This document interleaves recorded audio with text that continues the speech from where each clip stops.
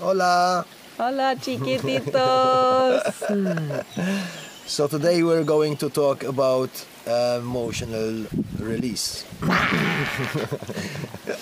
Not that kind of emotional release. Sometimes.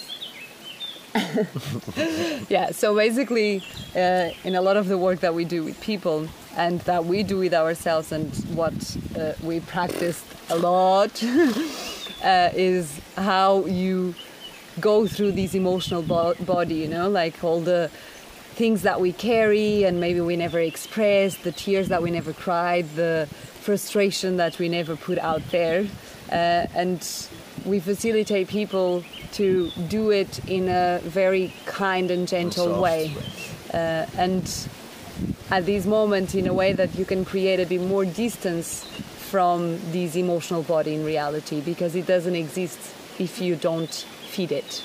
And in reality, the problem is that at times we feed it way too much. Basically, we identify too much with our emotions, yeah? and um, there are various tools that we can use. Um, we're always thinking about tools. Like, sometimes I feel like I have a tool shop, which I don't.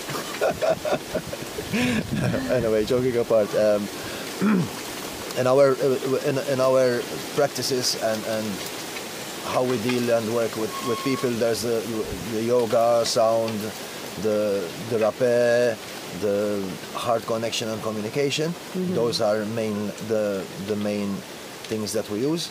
Um, uh, and then again, the whole the whole idea is to energy emotion yeah? Emotions. I mean i'm sure that we, you've heard this over and over again. Emotions are just energy emotion and when you say emotional release it's simply there is some energy that should be emotion and at the moment is not emotion so what we do is simply Allow it to help move. you exactly help you to disidentify with it so it can start moving again and if there is something to see and feel in in the space then you you allow exactly yeah. that You allow whatever needs to come up can come To up. come up.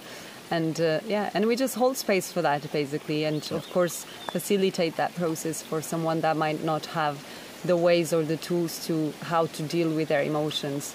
Um, a lot of people suffocate them, and they don't.